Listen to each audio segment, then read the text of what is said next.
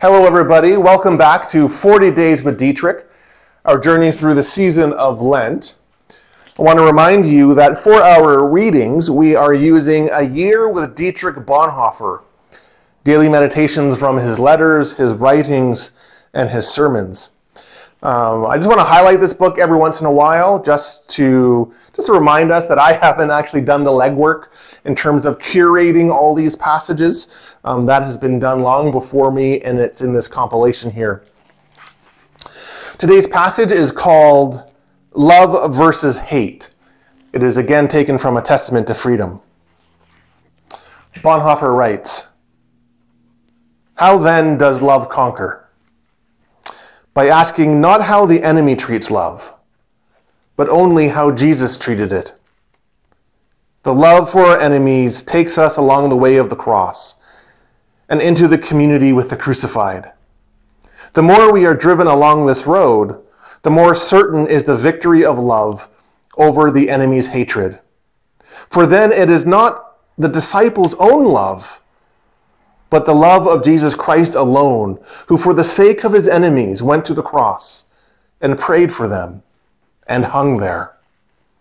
In the face of the cross, the disciples realized that they too were his enemies and that he had overcome them by his love.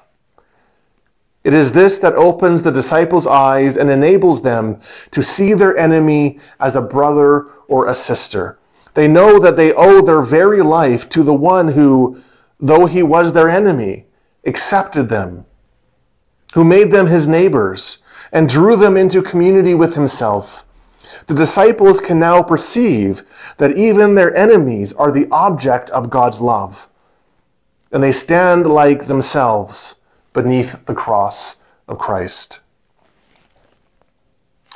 I really like Bonhoeffer's articulation right at the beginning that when we think about the call to love, and particularly the call to love others, um, to love our enemies, that we don't think about how do they perceive love, or how do they interact with love, or how do they respond to love. The only the question that we ask ourselves is how did Jesus treat love?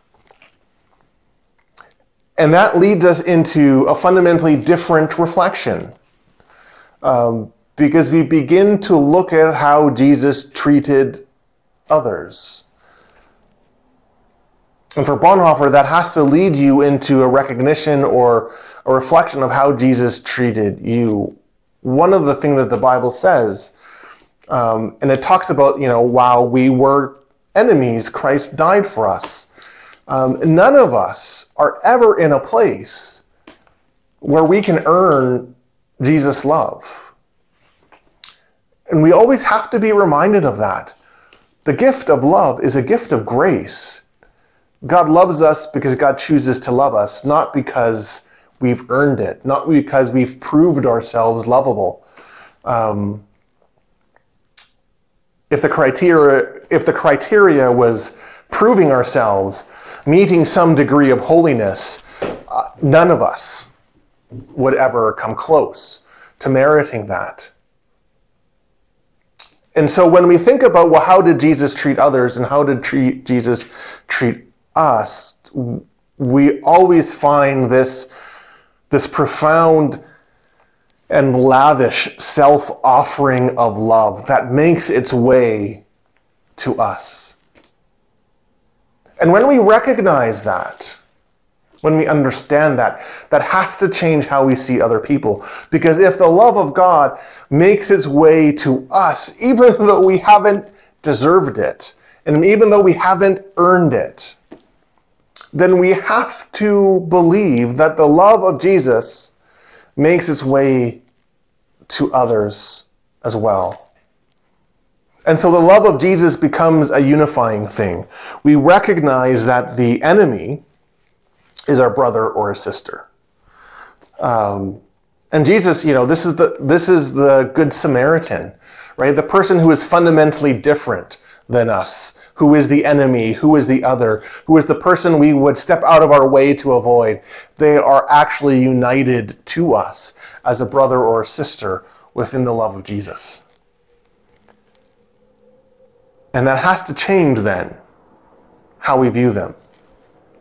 It's really hard to condemn someone if we recognize that we are united under the cross in the love of Jesus. It's really hard to disregard someone's humanity if we recognize that their humanity is held by the love of Jesus. And so this passage becomes, I think, a very, very profound passage, or this reflection about the love of Jesus and how Jesus treated the love of others uh, becomes entirely transformative because it changes how we view ourselves. We are not, um, we are not the spiritual elite. We are not on the pinnacle of holiness. Um, and the fact of the matter is, as much as we might or we will recognize that there are enemies to us, there are people who see, or there are people that we see as completely other than us, we have to recognize that we are that person for others.